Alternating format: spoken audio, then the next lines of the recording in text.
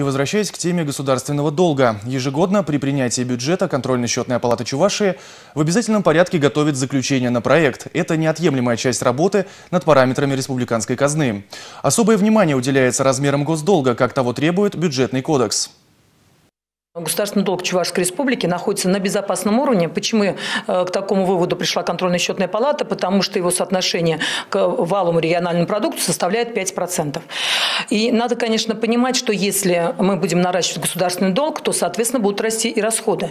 Исходя из всех цифр, которые мы видим в 2018 году, на обслуживание государственного долга республика потратит чуть более 1% бюджетных средств. Поэтому это тоже приемлемая, наверное, цифра или процент, потому что, еще раз повторюсь, любое наращивание государственного долга следом приведет к тому, что и вырастут расходы.